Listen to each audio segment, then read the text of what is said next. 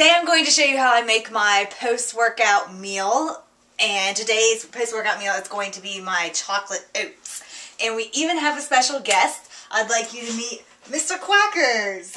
And today he laid a few eggs and I had his little babies for breakfast. Sorry, Quackers.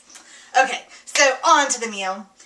Today I am going to start with the oats and we're going to measure them out on Scooter the scale here. This is Scooter the scale. I'm going to be having 32 grams. I have to be exact. And it's my low carb day, so I don't get as much oatmeal. Alrighty, so I'm going to measure out 32 grams here. Then when I measure out this, I'm going to put some, a tablespoon of cocoa in. So here we go, we have naturally unsweetened cocoa.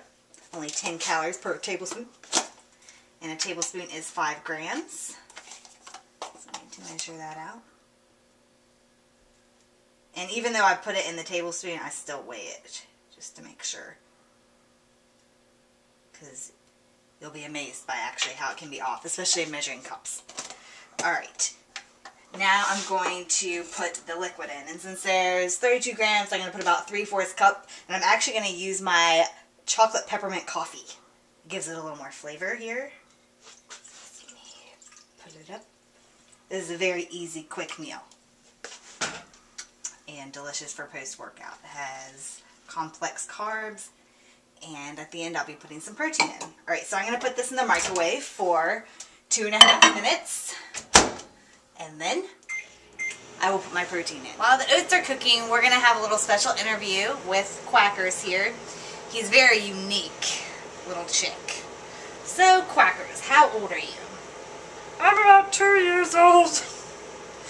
And I'm unique because I'm a guy and I lay eggs. Very uncommon. Alright, the oats are now done. So I'm going to take them out. Now I'm going to add the protein. So here they are, if you want to see them. Yum yum. I know people think it looks like had uh, nice comments on my Facebook. I promise they're good though.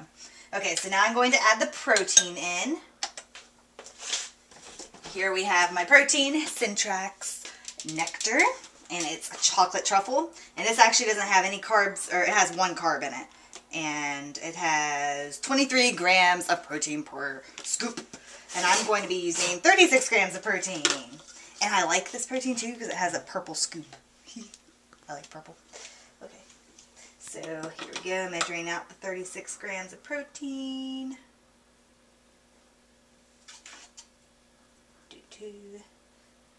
Sorry. Scooter is working on it. Alright, so now we have the 36 grams in.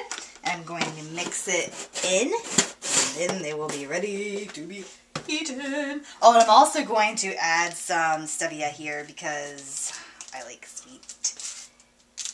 Maybe I sh should cut it out at some point, but right now I'm eating it. Alright, so then I'm going to mix it up. And if you need to add more liquid, you know, you can always add more liquid. It's up to your taste. But as you can see it, the protein dissolves pretty easily into it. And here we go. These are my cocoa oats with chocolate protein and chocolate peppermint coffee. Very rich and very yummy. And I'm going to enjoy them with Mr. Quackers.